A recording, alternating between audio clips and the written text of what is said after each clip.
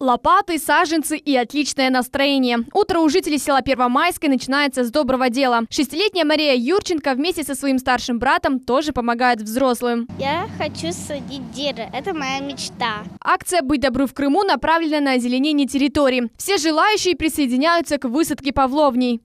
Сами саженцы небольших размеров. Вот, посмотрите, павловния отличается наибольшей скоростью роста в мире – Адамово дерево неприхотливо, растет на любых, даже сухих почвах. Чтобы посадить его, нужно сделать луночку.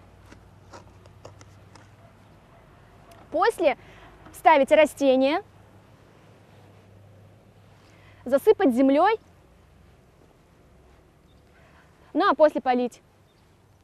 Такое дерево будет жить минимум 100 лет. 30 добровольцев посадили 130 саженцев. Теперь первомайцам остается ухаживать за молодыми деревцами и охранять посадку. Это очень важно, особенно для нашей территории Первомайского сельского поселения. Почему? Потому что мы лишь только а, в этом созыве начали высаживать э, деревья, которые нам предоставляют. В акции участвуют 18 сельских поселений. Ключи тоже не остались в стороне. Здесь подготовили саженцы побольше, почти метровые. Местные жители акцию проводят под лозунгом «Посади дерево в своем селе» и даже присваивают им имена. В Алуште похоронен э, герой Великой Отечественной войны кавалер орденов Чалбаш Эмир Усаин.